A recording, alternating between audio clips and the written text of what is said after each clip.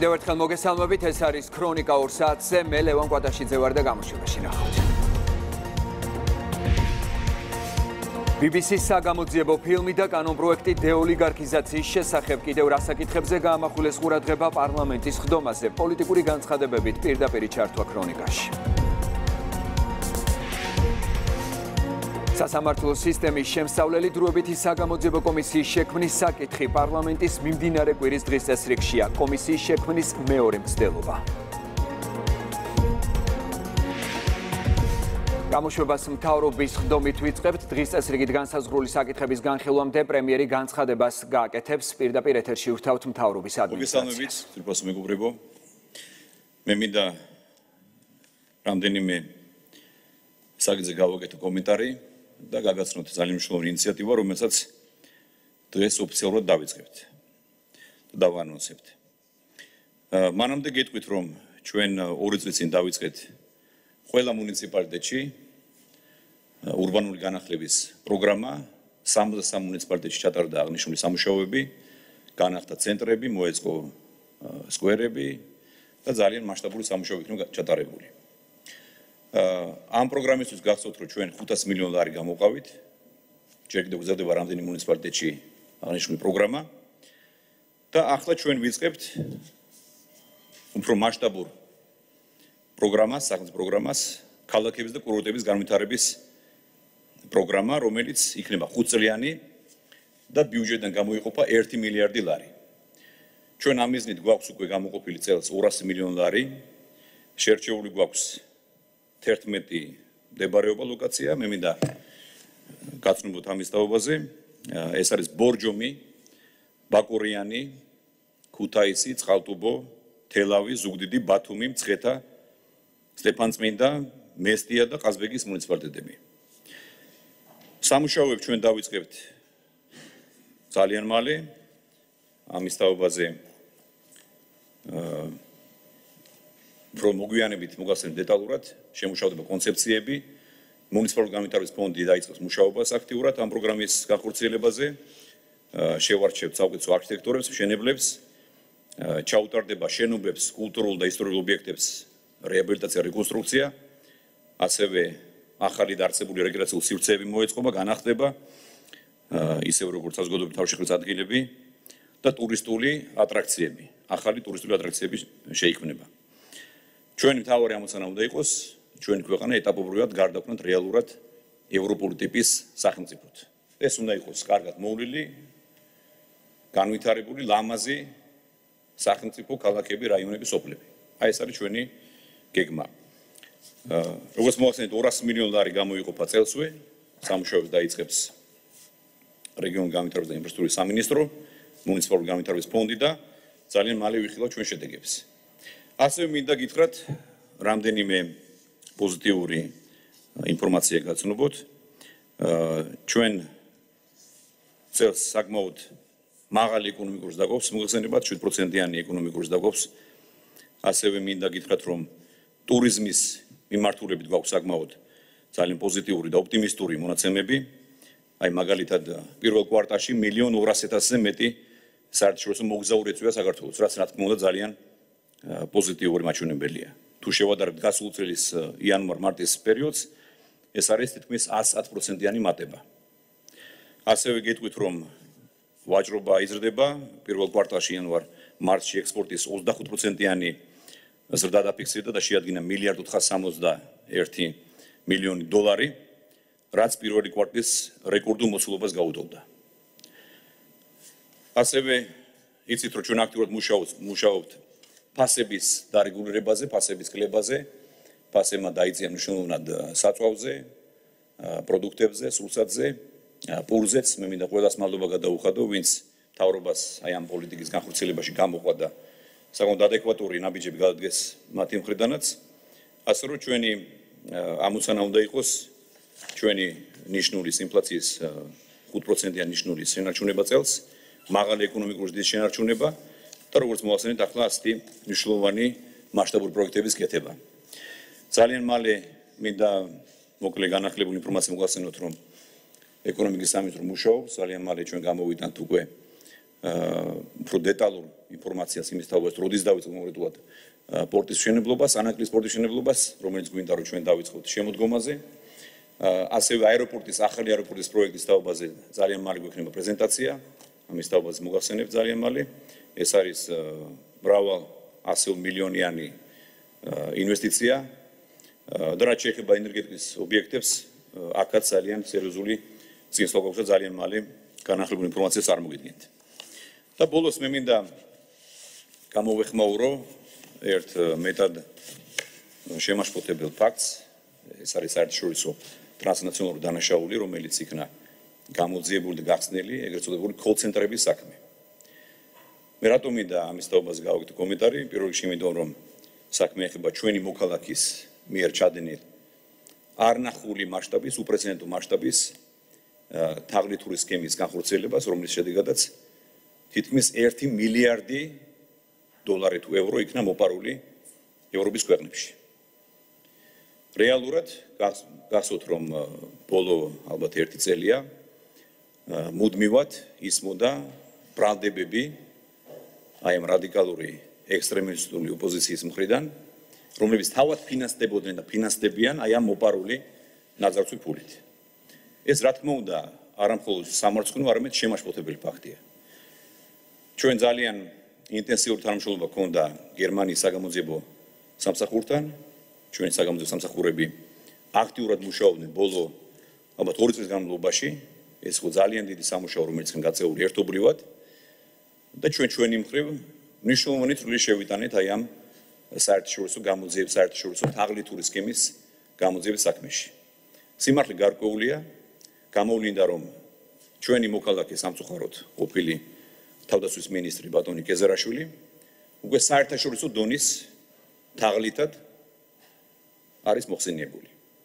რაც რა თქმა უნდა არის კატასტროფული და კიდევ უფრო მეტად შემაშფოთებელი ის ფაქტი რომ აღნიშნული პიროვნება რომელსაც მანამდე მოგესალმება ჯარი გაძარცვა ჯერ, შემდეგ ბიზნეს სტრატეგიაში აგდებდა ატერორებდა ახლა უკვე მთელი ევროპის მასშტაბით არნახული არნახული თაღლითური სქემა შეიმუშავა ისმა კომპანიამ და გაძარცვეს პენსიონერი მილიარდი დოლარის ზარალი იქნა მიყენებული. ასე რომ როდესაც ჩვენი ეგრეთ წოდებული რადიკალური ექსტრემისტული ოპოზიციის წარმომადგენლები შეხვდებიან ჩვენს ევროპელ მეგობრებს პარტნიორებს, მინდა ჩვენს ევროპელებს მეგობრებს უთხრა რომ ისინი ხვდებიან, ხვდებიან აი მათი მოქალაქეების მძარცველების ძარცველის მიერ დაფინანსებულ პარტიის წარმომადგენლებს. ეს რა თქმა უნდა არის სამართლიანი ფაქტი, მაგრამ რა თქმა უნდა მიხარია რომ ეს სიმართლე გაერკვა. გახსოვთ რომ შარშან პირიქით აბრალებდნენ თითქოს ხელისუფლების წარმომადგენლები იყვნენ ჩართული ამ საქმეში და ახლა BBC ბრიტანეთის საზოგადოებრივ მაუწყებელმა საბოლოოდ გამოუვლინა და ამის თაობაზე უკვე თელ საზოგადოებას ეცნობა. ასე რომ ნაცვლად იმისა რომ ჩვენი ოპოზიციის წარმომადგენლები ჩართულნი იყვნენ დესტრუქციულ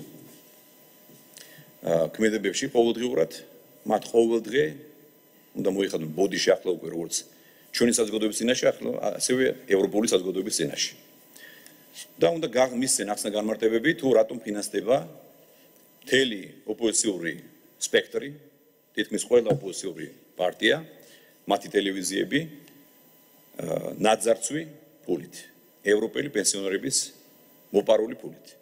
აი ამის თაობას მინდოდა მე ჩემი მხრივ გამიგეთებინა კომენტარი მინდა ჩვენ საგამოძიებო სამსახურებს მადლობა გადაუხადო ვინ ჩართული იყო ამ მეტად რთული სქემის გამოძიების საქმეში. ჩვენ ჩვენს ევროპელ კოლეგებთან ერთად ძალიან ინტენსიურად ვიმუშავეთ და მე იმედი მაქვს რომ ყველა ის დამნაშავე რომელიც ამ თაღლითურ სქემაში იყო ჩართული იქნება მიცემული პასუხისგებაში დიდი მადლობა. ამის თაობაზე მინდოდა რომ გამიგეთებინა კომენტარი ეს იყო ჩართვა მთავრობის ადმინისტრაციიდან მოისმინეთ პრემიერის პირველი შეფასება ეგრეთ წოდებული კოლ-ცენტრების საქმეზე, რასაც BBC-მ ვრცელი საგამოძიებო ფილმი მიუძღვნა. მანამდე ირაკლი ღარიბაშვილი რამდენიმე საკითხ შეეხო, მათ შორის საზოგადოებას გააცნო მთავრობის ინიციატივა, რაც ქალაქებისა და კურორტების ხუთწლიან განვითარების გეგმას ნიშნავს. განვაგრძობთ გამოშვება საპარლამენტო ოპოზიცია პარლამენტში მობილიზებული, თუმცა გაირკვა, რომ დღეს სასამართლო სისტემის შემსავლელი დროებითი საგამოძიებო კომისიის შექმნის საკითხი კენჭისყრაზე არ გავა. მიმდინარე მიმდინარე კვირას როდის უყრიან კენჭს ოპოზიციის ინიციატივა ზუსტი თარიღი უცნობია. სწორედ ამ თემას მოხვა კამათი ბიუროს ხდომაზე ხათუნა სამნიძესა და შალვა პაპუაშვილს შორის. სოფო ბერიძია ამ თემით ქრონიკის პირდაპირ ეთერში სოფო გისმენთ. ლევან ხათუნესამნიძემ, რომელიც ამ საკითხზე მთავარი მომხსენებელი იქნება პლენარულ ხტომაზე, ითხოვა, რომ საკითხზე კენჭისყრა შედგეს დღესვე. ამის მთავარი მიზეზი არის ის, რომ ოპოზიციამ შეძლო ხმების საკმარისი რაოდენობის მობილიზება. სწორედ ოპოზიციონერი დეპუტატები დღეს პარლამენტში მათი დიდი ნაწილი მიზნით გამოცხადა, რომ საგამოძიებო კომისიისთვის მიეცა ხმა და აქედან გამომდინარე ხათუნესამნიძე ითხოვდა, რომ საკითხზე კენჭისყრა შედგეს დღესვე. თუმცა მისი მოთხოვნის პასუხ პასუხად პირველმა კანონმდებელმა განმარტა, რომ პარლამენტი ვერ იმუშავებს ოპოზიციის დღის წესრიგით, არამედ იმუშავებს იმ დღის წესრიგით, რომელიც საკანონმდებლო ორგანოს უკვე განსაზღვრული აქვს. ეს განცხადება კი ხათუნა სამნიძემ საგამოძიებო კომისიისთვის მართველი პარტიის მხრიდან ომის გამოცხადება დააღიქვა. შალო პაპუაშვილს კი მიაჩნია, რომ იმ შემთხვევაში თუ კი ოპოზიციას მართლაც უნდა შექმნას საგამოძიებო კომისია, კეთილი უნდა ინებონ ოპოზიციონერმა დეპუტატებმა, როგორც ჩალვა პაპუაშვილმა თქვა და პარლამენტში მივიდნენ მაშინ, როდესაც დღის წესრიგის შესაბამისად საკითხი კენჭისყრაზე დადგება. სრულიად უპრობლემოა ჩვენი რეგლამენტის შესაბამისად რომ კენჭისყრა იყოს დღეს. მით უმეტეს როცა გეუბნებით და გთხოვთ რომ ოპოზიცია შევთანხმდით, გვინდა რომ ეს საკითხი ანუ რატო უნდა იყოს დღეს მე ეს რო აგვიხსნათ მაშინ. რამდენიმე დღის მანძილზე იყო მოლაპარაკებები ოპოზიციის შიგნით.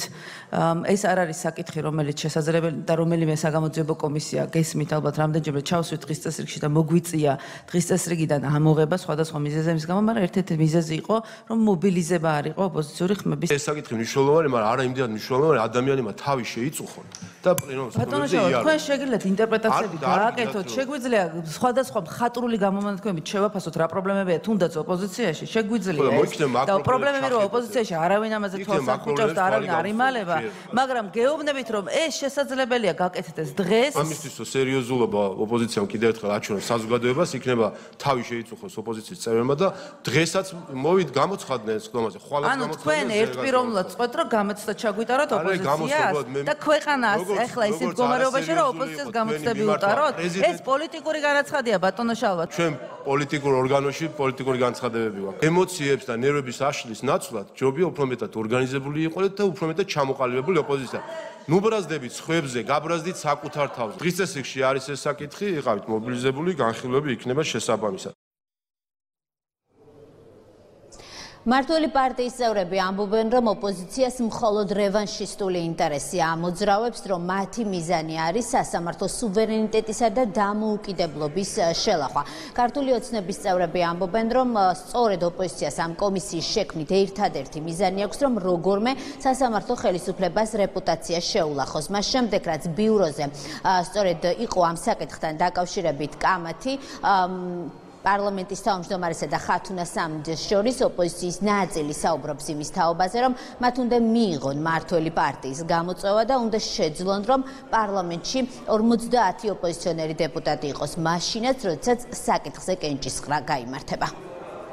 ასამალი არ არის რომ ოპოზიციაში მოხდა მობილიზება და საკმარისი ხმების რაოდენობა 50 ხმა არის სახეზე და შესაძლებელია რომ დღეს კომისიის შექმნის საკითხი გადაწყდეს. ხვალ და ზეგ და შემდგომ კვირებში დაგეგმილი არის მივლინებები და ჩაოლებრივი სამუშაო რეჟიმით არის გათვალისწინებული. манипуляция უმრავლესობის მხრიდან რომ აი ხვალ ვერ შეძლებენ, ზეგ ვერ შეძლებენ, კეთილინებონ მიტენ. არის მხოლოდ და მხოლოდ იმის მცდელობა, რომ საკითხის განხილვა არ მოხდეს დღეს. სწორი იქნება ის მიდგომა, რომ არც დღეს და არც შემდგომ დღეებში არ უნდა გაგუჭirdეს მობილიზება, თუმცა მეორე მხრივ მართველი პარტიისგან და ოცნებისგან უბრალოდ არასწორია ესეთი მიდგომა.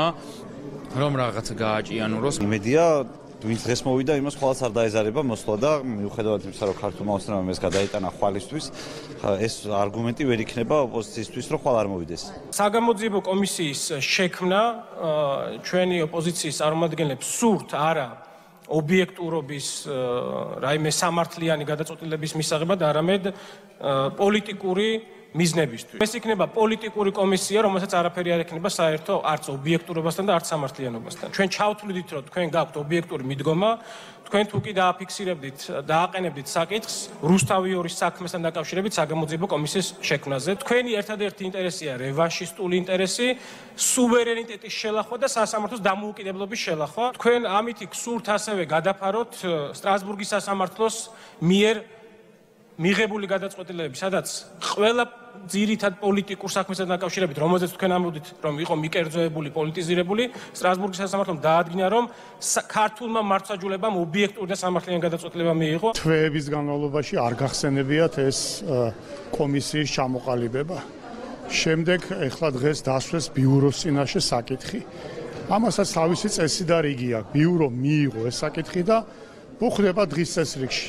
რიგითობის მიხედვით როგორც ეს არის გათვალისწინებული. ასე რომ მათ სურთ რომ მხოლოდ მათი ინტერესი იყოს გათვალისწინებული და ისიც უკანონოდ როგორც თვითონვე ამბობენ მათ არა აქვთ ასე ვთქვათ შიდა ოპოზიციური დისციპლინა და ამიტომ ფიქრობენ რომ დღეს არის საუკეთესო საშუალება და დრო მათთვის რომ დღეს მიიღონ ეს გადაწყვეტილება და ხვალდაზე თუ ესეთი მნიშვნელოვანია რა უშლით ხელს. ოპოზიციას არ აქვს სასამართლოს პროგრესის ინტერესი. პირიქით მათი ინტერესი არის რომ რაიმენაირად შეზღუდონ სასამართლოს დამოუკიდებლობა და მეორე როგორც შეძლებენ, ისე შეეცდებიან დააზიანონ ევროინტეგრაციის პროცესი და 12 პუნქტის შესრულების ის ნაწილი, რომელიც მარსაჯულების გაუმჯობესებას ეხება. აი ეს დესტრუქციული მიზნები გააჩნიათ მათ სინამდვილეში და ნებისმიერი საუბარი მათი მხრიდან სასამართლოს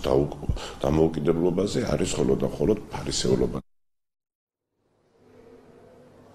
საპარლამენტო ოპოზიციის მცდელობა პარლამენტში მოეყვანა ყველა ის ოპოზიციონერი დეპუტატი, რომელიც მხარს დაუჭერდა საგამოძიებო კომისიის შექმნას, უნდა ვივარაუდოთ, რომ ყოველ შემთხვევაში დღეს ფუჭი გამოდგა, რადგან პარლამენტის თავმჯდომარემ ოპოზიციას ხაზგასმით უთხრა, რომ პარლამენტი ვერ იმუშავებს ოპოზიციის დღის წესრიგით, არამედ იმუშავებს იმ დღის წესრიგით, რომელიც არის გაწერილი. ეს კი ნიშნავს იმას, რომ ოპოზიციის თხოვნა საგამოძიებო კომისიის საკითხზე კენჭისყრა შედგეს უშუალოდ დღეს ეს ვერ მოხერხდება, თუმცა საკითხი არის ჩასმული მიმდინარე კვირის დღის წესრიგში და განხილვა უშუალოდ ამ საკითხზე გამართება მას შემდეგ, რაც პარლამენტში გამოცხადდება შესვენება და განახლდება სხდომა, თუმცა უნდა ვივარაუდოთ, რომ კენჭისყრა შედგება უკვე ხვალ.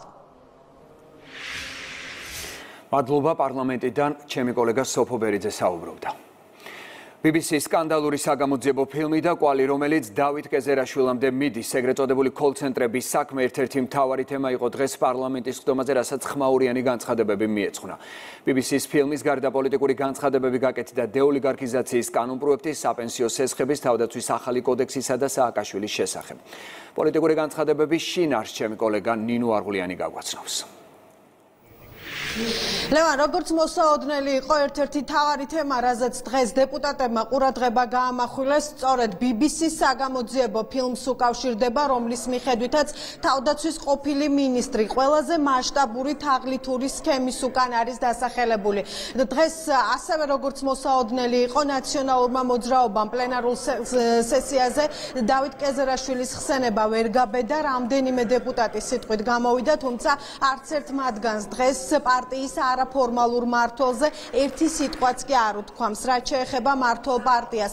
მართლმა პარტიამ დღეს კიდევ ერთხელ და ხაზგასმით აღნიშნა რომ დავით კეზერაშვილი უცხოელი პენსიონერების გაძარცვამდე ძარცვავდა ქართულ ჯარს და ამიტომაც მან სასჯელი ჯერ ქართული მართლმსაჯულების წინაშე უნდა მოიხადოს. მართველი გუნდის წევრებმა თქვეს რომ კეზერაშვილიც და სხვა ყოფილი მაღალჩინოსნები ექსტრადირებას უნდა დაექვემდებარონ და ასე ევროპაც და მსოფლიოს სხვადასხვა ქვეყნებით უმძიმეს დანაშაულებს თავიდან აირიდებენ. დღეს ქართულმა ოცნებამ ახსენა ევროპელი დეპუტატებიც ისინი, ვისაც ვინც კეზერაშვილს რამდენიმე თვის წინ დევნილ მედია მენეჯერად მოიხსენიებდა. როგორც უკვე გითხარით, ნაციონალურ მოძრაობას კეზერაშვილზე არაფერი უთქვამს, თუმცა სხვა ოპოზიციის სხვა წარმომადგენლებმა აღნიშნეს, რომ ეს არის უმძიმესი რეპუტაციული ზიანი, თუმცა მათ თქვეს, რომ შესაძლოა თბილისში არსებულ კოლ-ცენტრებთან კავშირი ასევე ჰქონდეთ ხელისუფლების წარმომადგენლებს, თუმცა როგორც მაყურებელმა იცის 47 წუთიან ფილმში BBC-მ აქ ამ კოლ-ცენტრების უკან მხოლოდ კეზერაშვილი ახსენა. საინტერესოა რა უფრო ეწყინათ რადიკალურ ოპოზიციურ ჯგუფებს. კეზერაშვილს ქართული ჯარის უმოწყალოდ ძარცვარო დაუდასტურდა სასამართლო განაჩენით, თუ ევროპელი პენსიონერების უმოწყალოდ ძარცვარო დაუდასტურდა BBC-ს ეთერში გასული სიუჟეტით. თავარია ფული იყოს და ხელფასებს არიგებდნენ. ზოგ-ზოგიერთისთვის ბინებს ყიდულობდნენ, რევოლუციურ ქვეყნის დამანგრეველ და მშვიდობის წამლეკავ იდეებს აფინანსებდნენ და კეზერაშვილი ნაძარცი ფულით უზრუნველყოფს ამ ყველაფერს თუ პატიოსანი და წესიერი შრომით მიღებული შემოსავლით ოპოზიციის დიდ ნაწილს ეს არ აინტერესებს. ამ შემოქმედების და ზრუნვის ნათელი დასტური და კრებსითი ნაძმოცის სახე არის ყავარჯნიანი კაცი რომელიც განასახიერებს სწორედ ზემოხსენებული ბატონების თანაავტორობით შექმნილ საშინელებათა ჟანრს და ამ სიუჟეტის თავარ გმირს საკუთარ მოქალაქეზე მოძალადე დაუნდობელ და სადისტ ხელისუფალს. გულწრფელად გასაკვირი და ცოტა არ იყოს მძიმეცა ის რეალობა, როდესაც ევროპარლამენტში კეზერაშვილის დევნილ მედია მენეჯერობას დაიჯერებენ, თან ისე დაიჯერებენ რომ ეცდებიან შენს დაგაჯერო. გამამფუნებელი განაჩენით აღიარებული დამნაშავეები. კეზერაშვილი, ადეიშვილი და ძმანი მისნი. თავისუფლად კი არ უნდა დაიარებოდნენ ჩვენს მეგობარ სახელმწიფოებში. არამედ დანაშავეთა ექსტრადირების წესს უნდა ექვემდებარებოდნენ. და საქართველოს კანონიერ მოთხოვნას კანონიერი და სამართლიანი პასუხი უნდა გასცენ დამნაშავეთა გადმოცემის თვალსაზრისით. მაღალი ალბათობით და პრევენციულად სრულიად შესაძლებელია რომ სხვა მძიმე დანაშაულის ჩადენაც თავიდან იქნეს აცილებული. ყველაფერი, რაც ოპოზიციას ეხება, არის სუსის მიერ კონტროლირებადი. ყველაფერი, სად მივდივართ, როგორ მივდივართ, ექიმთან როდის დავდივართ, როგორ აღმოჩნდა, რომ ამხელა ორგანიზებული დანაშაულის სქემა იყო და თქვენ არ იცოდით, არ არსებობს. თავარი პრობლემა რაც გვაქვს არის ის, რომ უბრალოდ გამოჩნდა, რომ ოპოზიციის თავარი დონორი ასევე სკანდალშია გარეული, ოღონდ არა საქართველოსში და პოლიტიკურ სკანდალში, არამედ ევროპაში და კრიმინალურ სკანდალში. იმ შემთხვევაში თუ დადასტურდა, რომ ასეთი ქსელი არსებობდა, ეს ქსელი შეუძლებელია არსებულიყო საქართველოს ხელისუფლების გარეშე, ჩარევის გარეშე. მე მინდა რომ თვალი გავახილოთ და დავინახოთ, რომ თუ გვინდა იმ უპირატესობის გამოყენება, რომელიც სანქცირებული მოსამართლეების ძმაკაცობაში გამოიხატება, აი ეს უპირატესობა რა გამოვიყენოთ. ამისთვის საჭიროა რომ ოპოზიცია იყოს ერთგვარად განწმენდილი და ის არ იყოს დამოკიდებული რაღაც თვალსაზრისით კეზერაშვილის ფულზე. ყველა ნუ გაქვთ მომზირალი თვალები ხელისუფლებაში მოსვლისკენ. რაც არ უნდა გააკეთოთ, სულ რო ყირაზე გადახვიდეთ. თქვენ ქართველი ხალხი ჩვენ არ მოგცემთ საშუალებას რომ თქვენ დაუბრუნდეთ ხელისუფლებაში, დაბრუნდეთ ხელისუფლებაში. და ატეროროთ ეკლესიიდან დაწყებული ბიზნესი და ქართული საზოგადოება. ეს კარგად დაიმახსოვრეთ ყველა. განცხადებები BBC-ს ფილმთან დაკავშირებით მოვისმინეთ პლენარულ სესიაზეც და მოვისმინეთ ხნომათა დარბაზის გარეთაც. ნაციონალური მოძრაობა კეზერაშვილთან კავშირს დღეს უარყოფს. მიუხედავად იმისა რომ ამ პარტიაში პოლიტიკური ინტერესებზე თავად დავით კეზერაშვილმა ისაუბრა რაც შეეხება ქართულ ოცნებას. მართველი პარტია კიდევ ერთხელ ამბობს რომ დავით კეზერაშვილის მიერ დაფინანსებულ პოლიტიკურ პარტიებს არასამთავრობო ორგანიზაციებს და მედია საშუალებებს მინიმუმ უხერხულობა უნდა უნდა კონდეთ რის რადგან კიდევ ერთხელ დადასტურდა რომ მათი დამფინანსებელი ჯერ ქართულ ჯარს პარავდა ფულს ახლა კი ევროპელ პენსიონერებს. ეს არის ძიმე რეპუტაციული დარტყმა მისთვის. და მან უნდა გასცეს ამას პასუხი რა თქმა უნდა და იმეც ვიტყობ რომ ეს ესე იქნება. აა დანარჩენს კი რო გუჩვენებს BBC-ს ეს ფილმი და ჩვენი საერთაშორისო პარტნიორების მიერ წარმოებული ყველა გამოძიება და ყველა სიუჟეტი ჩვენთვის არის ძალიან მნიშვნელოვანი და საყურადღებო. გამიჯვნა ამ შემთხვევაში არ არის რელევანტურია, ასე რომ მოძრაობა არის დაკავშირებული ადამიანთა ჯგუფი, რომელსაც აქვს იდეა, ეს არის წარმატებული საქართველოს იდეა და ა კონკრეტული პერსონა, რა თქმა უნდა, როლის არ უნდა კონდეს, მაშინ გადამწყვეტ როლს არ ასრულებს. თქვენი პარტიის სხვა ფლანგის წევრები ამბობდნენ, რომ ასრულებს საკმაოდ გადამწყვეტ როლს კეზერაშვილის ფაქტორი თქვენს პარტიაში. აა ცდებიან, არ აქვს სწორი ინფორმაცია, ან შეგნებლად ავცელებენ სრულ ინფორმაციას. გერმანიის სამართალდამცავმა უწყებებმა საქართველოს გენერალურ პროკურატურასთან თანამშრომლობით გამოიძიეს და გახსნეს აა ტრანსნაციონალური დანაშაული, რომელიც კოლ-ცენტრებთან არის დაკავშირებული და ის ჟურნალისტური გამოძიება, რომელიც BBC-მ აწარმოა, სწორედ ამ ფაქტებზე დაყნობით ხდება და იქ გამოიკვეთა ცალსახად, რომ ამ სქემის სათავეში სწორედ რომ კეზერაშვილი დგას. მთელი რიგი ადამიანებისთვის აღმოჩნდა, რომ დადასტურებული სისხლის სამართლის დანაშაული, დაკავშირებული ჯართან, დაკავშირებული გარკვეული ფინანსების მithვისება გაფლანგვა და ასე შემდეგთან. არაფერს არ ნიშნავდა, ანუ სამართლებრივი განაჩენი და BBC-ის მიერ გამოტანილი პოლიტიკური განაჩენი, რომელიც ჯერ სამართლებრივი არ არის, აღმოჩნდა, რომ ვიღაცებისთვის მიუღებელია. ნუ აი რა გითხრათ ახლა? კი, შეიძლება ესე იყოს BBC, რა თქმა უნდა. რაღაცა მტკიცებულებებზე დაკნობით ამბობს ამას, თუმცა სასამართლო ამას ამბობს ხარ მტკიცებულებებზე დაკნობით და აცხადებს, რომ დამნაშავე არ ამაკ საქმეში, არამედ მრავალ სხვა საქმეში, მათ შორის საქართველოს მოქალაქეების და ქართულ ჯარის კუთვნილი თანხების მითვისებასთან დაკავშირებით. BBC-მ ფილმი რამდენიმე დღის წინ გავრცელა, რამდენიმე დღიანი დუმილის შემდეგ კი სოციალურ ქსელში დავით კეზერაშვილი კიდევ ერთხელ გამოჩნდა და ამჯერადაც ის თავის მართლების რეჟიმშია. მიუხედავად იმისა, რომ გამომძიებელ ჟურნალისტებს მას მან კითხვებზე არ უპასუხა სოციალურ ქსელში თავს იმართლებს და საკმაოდ ცლად წერს და გვარწმუნებს იმაში, რომ თაღლითობის სქემასთან კავშირი არ აქვს. რა თავდაპირველად ის წერს გამომძიებელ ჟურნალისტზე დავით კეზერაშვილი ამბობს, რომ BBC ჟურნალისტის მასალების დიდი ნაწილი ბევრ საკითხში უცნაურად ემთხვევა რუსული რეჟიმის ცრუ ნარატივს და იგივე BBC-ზე დავით კეზერაშვილი ამბობს, რომ საგამოძიებო მასალის ავტორი წლების განმავლობაში ცდილობს შემინახოს შემილახოს საქმიანი რეპუტაცია. მოკლედ, როგორც კიდევ ერთხელ ირკვევა ყველაზე სანდო მედიას თავად კეზერაშვილი არენდობა და აქვე BBC-ს წინააღმდეგ სამართლებრივ სარჩელს ანონსებს. დავით კეზერაშვილი ამავე განცხადებაში საუბრობს ტელეკომპანია ფორმულასთან დაკავშირებით და ის ამბობს, რომ ფორმულას საკონტროლო პაკეტს არხის თანამშრომლებს გადასცემს. მრავალი წელია მეც და ჩემს ოჯახსაც არაერთხელ გვიფიქრია ხომ არაჯობებს თავი დავანებოთ ბრძოლას და მშვიდი რეჟიმით ვიცხოვროთ. რამდენადაც ეს შესაძლებელია იძულებით ემიგრაციაში. ამ დღეებში ეს საკითხი კიდევ ერთხელ გახდა ჩვენთვის აქტუალური, მაგრამ როგორც კი მსგავს პერსპექტივას ვუშვებთ, მაშინვე ვგრძნობთ პასუხისმგებლობას. როგორ შეიძლება ვდისტანცირდე ყველაფრისგან მაშინ, როდესაც შემიძლია თუნდაც ერთი აგური დავდო რუსული ოლიგარქიის წინააღმდეგ ბრძოლაში, ამიტომ ვაცხადებ, რომ ჩემ ირგვლივ შექმნილი მძიმე გარემოს მიუხედავად პროცესებიდან ჩემი ჩემი გასვლა არ განიხილება.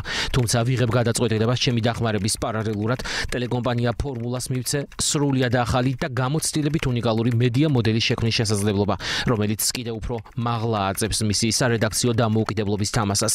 მათ შორის ჩემგანაც რისი დეფიციტიც არხს არც სამდრომდე ჰქონია. გადაწყვეტილება ასეთია: მე უარს ვამბობ ფორმულას საკონტროლო პაკეტზე და არსებული წილის ნახევარს ახლავე გადავცემ ტელეკომპანიის კოლექტივს. მას შემდეგ რაც დასრულდება ოლიგარქიული მართვა მმართველობა ფორმულას კოლექტივსვე სრულად გადავცემ ჩემს დარჩენილ წილსაც.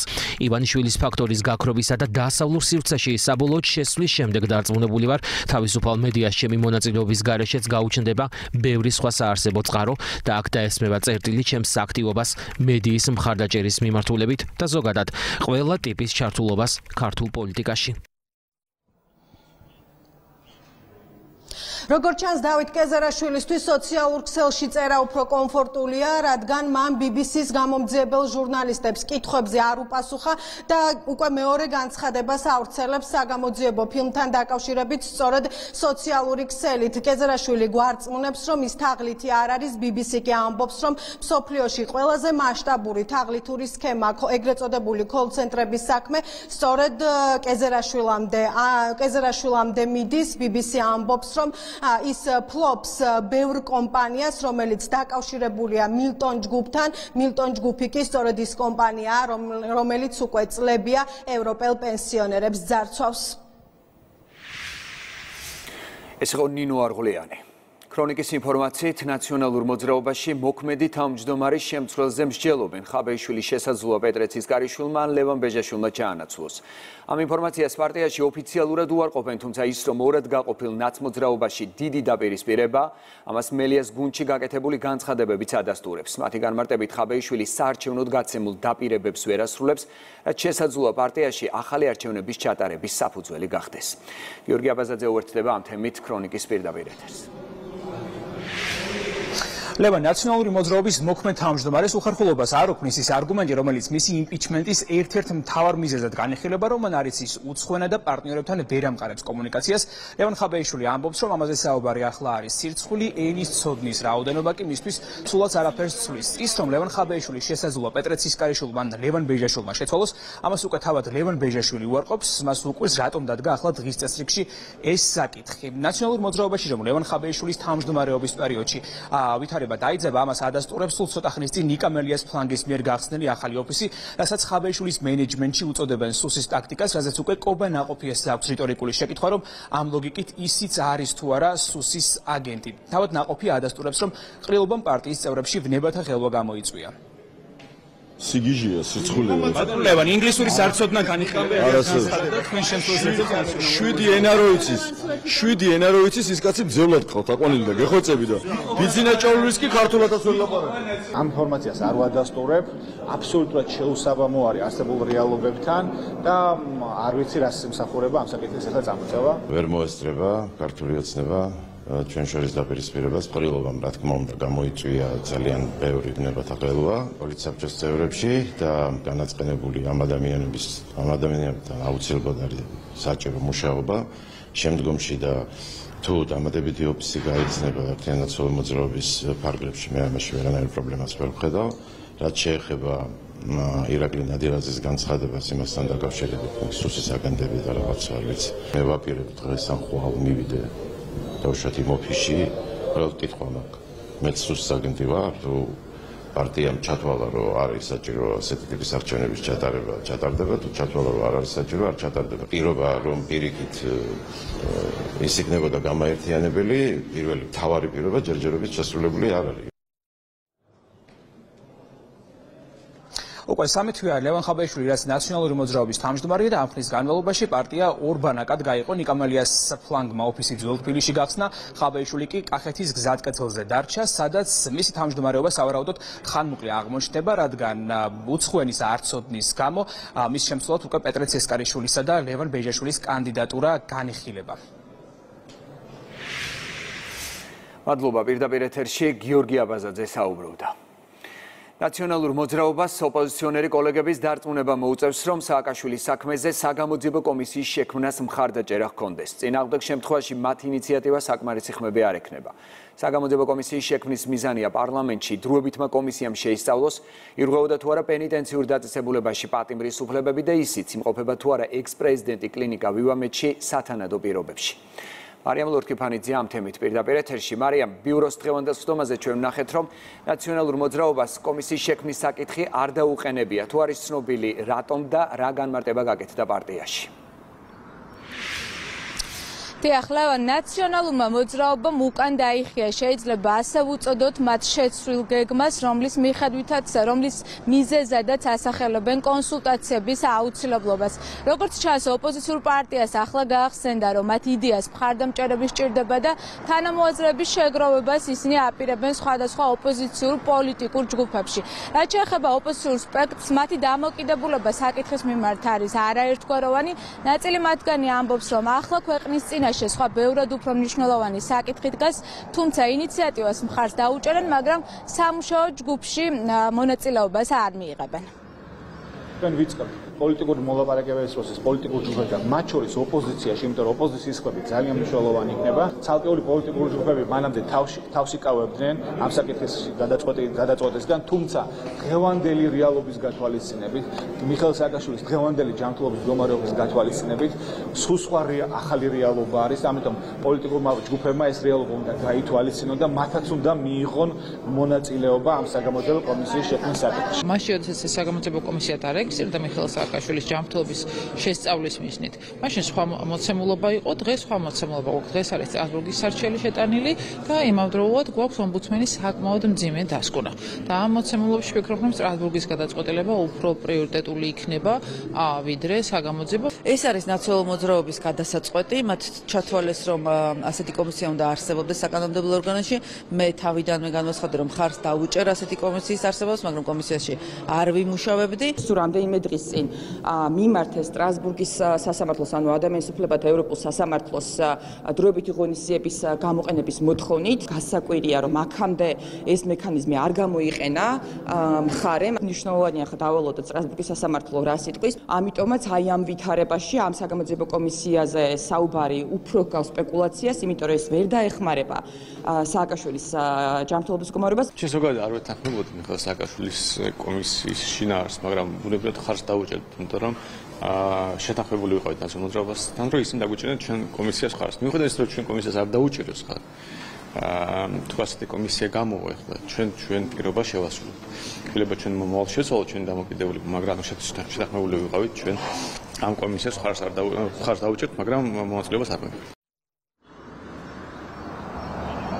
მართვალი გუნდისთვის სააკაშვილის თემის წამოწევა იმის დასტური არის, რომ ნაციონალური მოძრაობა აგრძელებს მიხეილ სააკაშვილის ჯანმრთელობის მდგომარეობით სპეკულირებას და ამით პოლიტიკური ქულების დაწერას.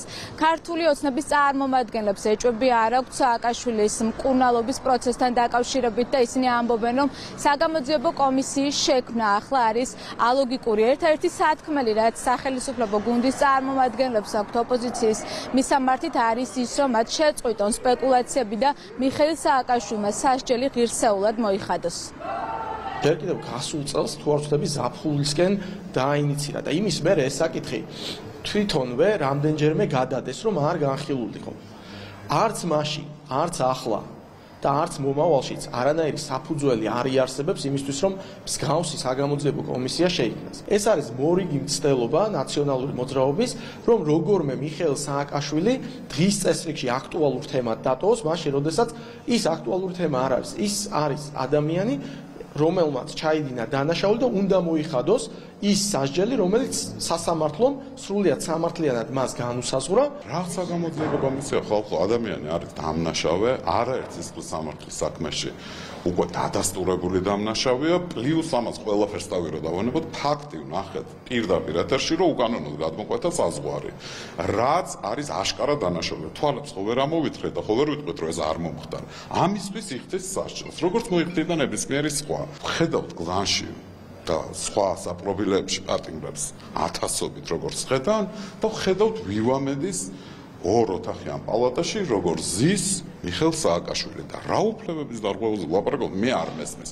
სტრასბურგი თუ დაადგენს რაიმეში დაირღვა მისი უფლება რაც არის საფუძველი მისთვის სასჯელი სხვაგვარად მოხდებინების ან გადავადებს ან ასე. შემდეგ ვნახოთ თუმცა პირველ ჯერზე მან მოუწოდა მიხეილ სააკაშვილს რომ შეწყვიტოს შემშილობა და შეეგუოს სიმბიროვად სადაც არის. საგამოძიებო კომისიას არ აქვს ოპოზიციის მხარდაჭერა სწორედ ეს არის მიზეზი რატომაც ნაციონალური მოძრაობის მხრიდან რამდენჯერმე გააქტიურებული ეს თემა. ვერ იქნა საბოლოო ჯამში მიყვანილი იმიტომ რომ თავად ოპოზიციაც კი რომელიც ნაციონალური მოძრაობის ირგვლივ რაღაც კუთხით ერთიანდება არ ვერ ხედავს რეალურ საფუძვლებს იმასთან დაკავშირებით რომ რომ ამ კომისიამ რამე შედეგი დადოს და პირიქით ისევ სააკაშვილის დისკრედიტაცია არ მოახდინოს, აქედან გამომდინარე არ მგონია რეალისტურად, ან პირიქით უფრო მეცაც ვიტყვი ჩვენს ინტერესებში არის რომ ეს საგამოძიებო კომისია დააინიცირონ და კიდევ უფრო მეტი ნათელი მოფინონ იმ მასკარად, რომელსაც სააკაშვილი ატარებს.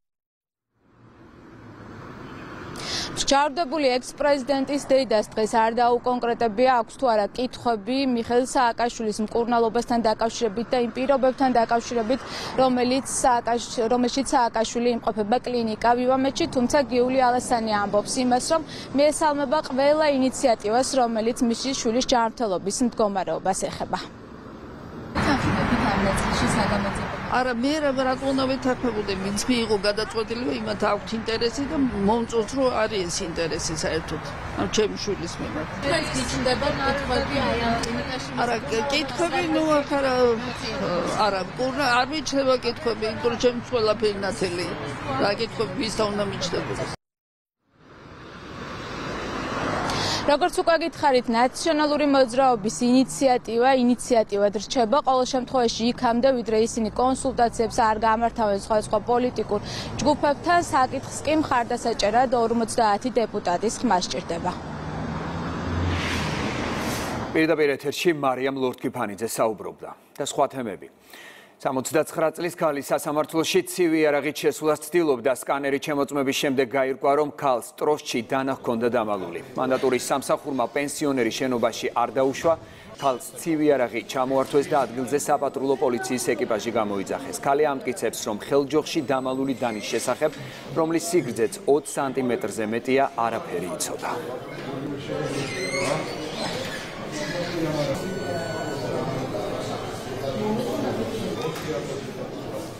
მასე ვიყიდე და მოვიტანე და ისავქენი მეტი არაფერი დათმინდოდა მე?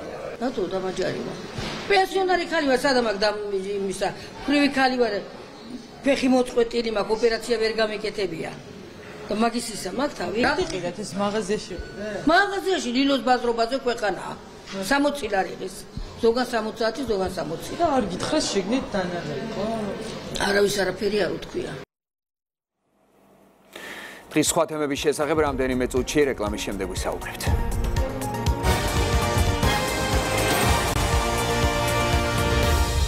24 აპრილიდან თბილისის ქუჩების მორეცხვა დაიწყება. დასუფთავდება 100-ზე მეტი ქუჩა, გზატკეცილი, პანდუსები, გვირაბები, ხიდები, როგორც პირველი, ისე მეორე კატეგორიის ქუჩები. სამუშაოები მთელი ზაფხულის განმავლობაში გაგრძელდება. დედაქალაქის მასშტაბით დაგეგმილი დასუფთავების სამუშაოები კახაკალაძემ დაანონსა. მერმა განმარტა, რომ განახლებული ტექნიკით თბილისის ქუჩები სისტემატურად მოირეცხება, საჭიროების შემთხვევაში კი მერია დახმარებას შინაგან საქმეთა სამინისტროს თხოვს. 100-ზე მეტი ქუჩა სადგეცილები ბანკ წელს ეს პრობლემა ძალიან მნიშვნელოვანია ქუჩები ირწყვებოდეს ქუჩები სუფთავდებოდეს ემხედველობაში მაქვს ავტომობილო გზები კვეით ატმოსფერულეები სადაც გადაადგილდებიან ტროტუარები. ყველაფერი უნდა იყოს მაქსიმალურად მოწესრიგებული დაიწყეთ გამუშავება თუ რამდენი ტექნიკა არის საჭირო? თუ აუცილებლობა მოითხოვს იმას ჩვენ შეგვიძლია თხოვოთ შინაგან საქმეთა სამინისტროს და საგანგებო სიტუაციების მართვის სამსახური დაგვეხმარება როგორც ყოველთვის გვერდში გვიდგანან მაქსიმალურად გამოიყენეთ ეს შესაძლებლობები ხელობაში მაქვს ახანძრო მანქანები იმისთვის რომ რაც შეიძლება ბევრ ქუჩაზე მოახერხოთ შესვლა და დასუფთავების სამუშაოების წარმოება. ჩვენ ყველანაირი აღჭურვილობა შევიძინეთ და მზად ვართ იმისთვის, რომ როგორც უკვე თქვენ თქვით, ძალიან მალე დავიწყებთ სისტემურ ქუჩების მორეცხვას, აზე მეტი ქუჩა იქნება მორეცხილი, ყველა მნიშვნელოვანი პანდუსი, გამზირი გზაგამყოფი და ასე შემდეგ იქნება მოწესრიგებული. მოხდა დაახლოებით 15 ერთეული სპეცტექნიკის შეძენა და წელს შაშანდელისგან განსხვავებით 20 ერთეული გამართული სპეცტექნიკით ვიც შეხვდებით ზაფხულს. ეს არ იქნება ერთჯერადი, ეს იქნება მთელი ზაფხულის განმავლობაში გაგრძელდება ყოველდღიური დაიწყება ხამე 12-დან და დილის 8-ის ნახევრამდე გაგრძელდება. საოკუპაციო რეჟიმის მორიგი უკანონო ქმედება ეგრეთ წოდებულმა მესაზღვრებმა ქარელის მუნიციპალიტეტის სოფელ დვანის მიმდებარე ოკუპირებულ ტერიტორიაზე საქართველოს მოქალაქე დააკავეს. ამოქმედებულია ცხელი ხაზი მომხდარის შესახებ უკვე ეცნობა ევროკავშირის სადამკვირვებლო მისია საერთაშორისო პარტნიორებსა და ჟენევის საერთაშორისო დისკუსიების თანათავმჯდომარეებს. ქართული მხარე ოკუპირებულ ტერიტორიებზე ისევე როგორც საოკუპაციო ხაზის გასწვრივ ჩადენილ ყველა დესტრუქციულ ქმედებაზე პასუხისმგებლობას საოკუპაციო რეჟიმს აკისრებს.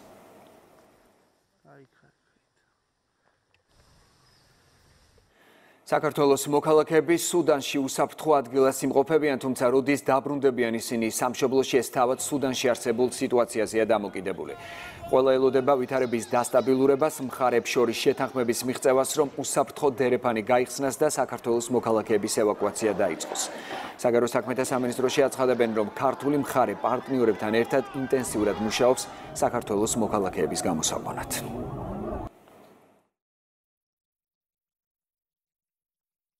ძირითადად სიტუაცია არ შეცვლილა იგივენაირად უსაფრთხოდ არიან სახლში არიან. თავარია რომ საკვები და წყალი აქვთ მომარაგებული ველოდებით ისე და ისე როდის შეთანხმდება მხარეების დროებით მაინც ეცლის შეწყვეტაზე. თელ ქალაქში არის იქ დაძაბული მდგომარეობა და შეტაკებები მიმდინარეობს ქალაქში. სახლცხოვრებელ კორპუსში, სადაც ცხოვრობდნენ, სადაც იყვნენ თვითონ გათავსებული, გარეთ არ გამოდიან და არიან უსაფრთხოდ. ჩვენ თანამშრომლები ამ ეტაპისთვის უსაფრთხოდ არიან, ძალკე საცხოვრებელში არიან, რომელიც არის ცოტათი მოშორებით ძირითადი საომარი მდგომარეობის ადგილიდან. ენიმი ეწოდება გრაფიკით და შესაბამისად ჩვენ მოლაპარაკება გვაქვს იმაზე რომ მიაწოდონ საწვავი რომ ეს გენერატორები ამუშაონ. ეს ერთ-ერთი პრობლემა რაც არის არის რომ საქმეა ცოტათი დეფიციტური. ჩვენ გვყავს ამ ეტაპზე 13 თანამშრომელი. ველოდებით როგორც კი დასტაბილურდება რომ სასწრაფოდ გადმოვიყვანოთ საქართველოში. სუდანში მიმდინარე შეიარაღებული დაპირისპირების შედეგად დაღუპულთა რაოდენობა 180-მდე გაიზარდა და დაშავებული 1800-ზე მეტი ადამიანი. გენერალ ბუჰანსა და ჰემეტის შორის მიმდინარე შეტაკებების ფონზე ხართუმში გათიშულია ელექტროენერგია, მოსახლეობას არ მიეწოდება სასმელი წყალიც. როგორც დასავლური მედია წერს, რამდენიმე საავადმყოფოსა და ჰუმანიტარულ ობიექტზე თავდასხმა მოხდა. გავრცელებული ცნობით, ხართუმში მთელი ღამის განმავლობაში საარტილერიო ცეცხლი იყო გახსნილი. გასამხედროებულ დაჯგუფებასა და ქვეყნის არმიას შორის შეტაკება რამდენიმე თვიანი დაძაბულობის შემდეგ სამი დღის წინ დაიწყო.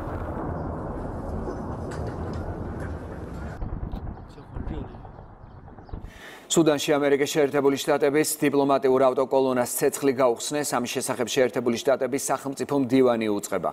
ენტონი ბლინკენის განმარტებით თავდასხმის დროს არავინ დაშავებულა. დიპლომატის თქმით ცოტა ხნის წინ ის სუდანის არმიისა და გასამხედროებული სწრაფი მხარდაჭერის ძალების მეთაურებს ტელეფონით ესაუბრა.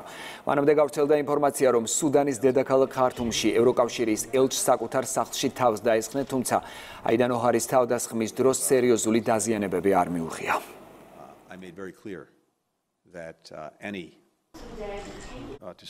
გუშინ ამერიკულ ავტოკოლონას ცეცხლი გაუხსნეს. ახლა ყველა მათგანი უსაფრთხოდ და უნებლადაა, თუმცა ეს ქმედება უგუნური, უპასუხისმგებლო და საფრთხის შემცველი იყო. დღეს დილას გენერალ ჰემეტტისთან და ბურჰანთან სატელეფონო საუბრის დროს კაფიოდ გავუსვი ხაზი, რომ ჩვენს დიპლომატებზე ნებისმიერი თავდასხმა შეერთებული შტატებისთვის ყოვლად მიუღებელია. ასევე მათ 24 საათიანი ცეცხლის შეწყვეტისკენ მოვუწოდე, რათა სუდანელებმა ოჯახის წევრების ნახვა შეძლონ. უკრაინაში ომის 419 დღეა რუსულმა არმიამ აღმოსავლეთ ფრონტზე ავია და საარტილერიო დარტყმები გააძლიერა. უკრაინის სახმელეთო ჯარების სარდალი ადასტურებს, რომ ოკუპანტის ძირითადი ძალისხმევა ქალაქ ბახმუტისკენაა მიმართული. ალექსანდრე სირსკის თქმით, მიუხედავად მძიმე ბრძოლებისა, ბახმუტში ვითარება კონტროლს ექვემდებარება. პარალელურად ოფიციალური კიევი ფართო მასშტაბიანი კონტრშეტევისთვის ემზადება. დასავლური მედია წერს, რომ პენტაგონიდან გაჟონილი საიდუმლო დოკუმენტების თანახმად, კიევი ოკუპირებული მიწების გასათავისუფლებლად შედავებს 30 აპრილს დაიწყებს. უკრაინის უშიშრობის საბჭოს მდივანი კი აცხადებს, რომ კონტრშეტევა მაშინ განხორციელდება, როცა უკრაინის არმია ამისთვის სრულად მზად იქნება.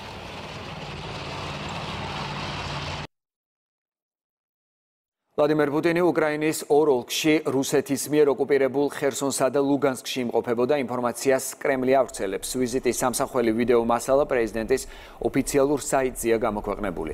რუსული მედიის ცნობით პუტინი ხერსონის ოლქში რუსული ჯარების მართვის პუნქტში ლუგანსკში კი ეროვნული გვარდიის შტაბში მივიდა და რუს ჯარისკაცებს აღდგომა მიულოცა.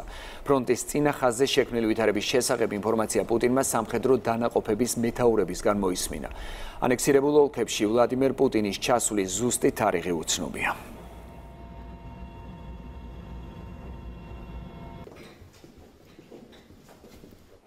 რუსეთის მხრიდან ქიმიური, ბიოლოგიური ან ბირთვული იარაღის გამოყენებას მოსკოვისთვის მძიმე შედეგები მოყვება, ნათქვამია დიდი შვიდეულის ქვეყნების საგარეო საქმეთა მინისტრების ერთობლივ განცხადებაში.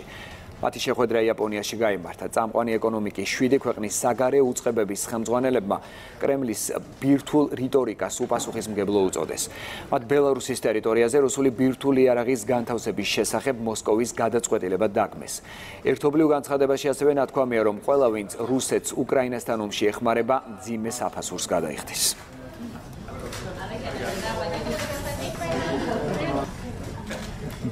გამოძიების ფედერალურმა ბიურომ ნიუ-იორკში ორი მამაკაცი დააკავა, რომლებსაც ჩინეთის პოლიციის საიდუმლო განყოფილების მართვაში ადანაშაულებენ. გამოძიება მიიჩნევს, რომ ისინი ჩინეთის მთავრობის აგენტებად მოქმედების მიზნით შეთქმულებას აწყობდნენ და მართლმსაჯულებას ხელს უშლიდნენ. ჩინეთის პოლიციის საიდუმლო განყოფილება მანჰეტენზე ჩაინათაუნის უბანში მდებარეობდა.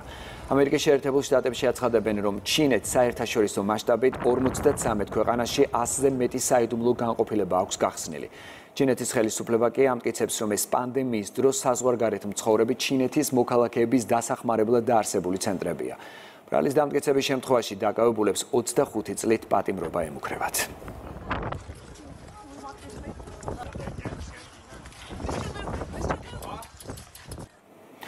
საქართველოს სპორტებში ერთი ფანჯრის პრინციპი ინერგება მიზნით ნავსადგურების გაციფრულების პირველი ფაზის გახსნითი შეხვედრა გამართა, რომელსაც ვიცე-პრემიერი ლევან დავითაშვილი, ამერიკის ელჩი საქართველოში კელი დეგნანი, ასევე მთავრობის, პარლამენტისა და კერძო სექტორის წარმომადგენლები დაესწრნენ. ერთი ფანჯრის პრინციპი ხელს შეუწყობს სპორტების ეფექტიან მუშაობას, უსაფრთხოების გაძლიერებას, ინფორმაციის ციფრულად განთავსებასა და ამავე ინფორმაციის გაცვლას.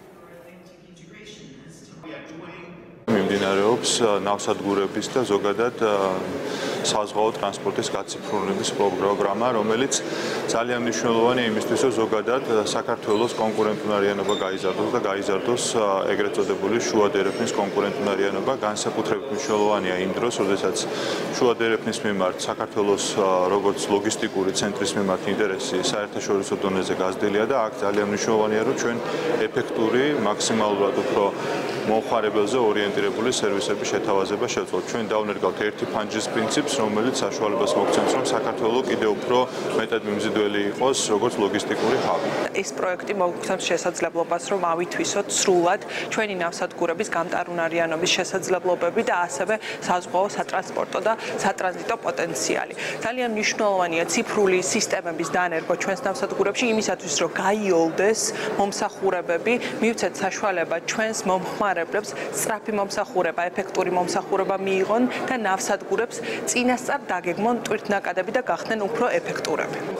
მოხარულები ვართ, რომ ხარს ვუჭერთ ამ პლატფორმის ამოქმედებას, რომელიც ხორციელდება ამერიკის საელჩოს, საზღვაო ტრანსპორტის სააგენტოსა და ექსპორტის კონტროლისა და საზღვრის უსაფრთხოების პროგრამას შორის თანამშრომლობით. ეს არის ძალიან მნიშვნელოვანი საქართველოს სპორტებისთვის, მათი უსაფრთხოების გასაძლიერებლად, განსაკუთრებით ამ სიტუაციაში, როდესაც ნავსადგურების უსაფრთხოება არის კიდევ უფრო მნიშვნელოვანი. შესაბამისად, ეს პროგრამა ხელს შეუწყობს ეფექტურობისა და უსაფრთხოების გაძლიერებას სპორტებში. წინვალე შვიდეული სამშაბათს გორში ტრადიციულად ოქონობას აღნიშნავენ. დღესასწაული ოქონის ხატს უკავშირდება, რომელიც მე-12 საუკუნიდან გორის მფარველად მიიჩნეოდა. ოქონის მშენებარე ტაძარში ატენისა და გორის მიტროპოლიტმა ანდრიამ სადღესასწაულო წირვა აღავლინა. წირვის დასრულების შემდეგ კი ქალაქის ქუჩებში ტრადიციული მსვლელობა გაიმართა. სასულიერო პირებმა მოსახლეობა დაულოცეს და ქუჩები აკურთხეს. ოქონობის დღესასწაული ატენისა და გორის მიტროპოლიტ ანდრიას ლოცვა კურთხევით 2004 წელს აღდგა და წელს მე-17 აღინიშნება. ოქონის ხატი მე-12 საუკუნიდან მიჩნეოდა გორის მფარველად და სამწუხაროდ 1991 წელს რუსეთთან კონფლიქტის დროს დაიკარგა ეს ხატი და რომელიც მერე კრისტის აუქციონზე აღმოაჩინეს 2001 წელს.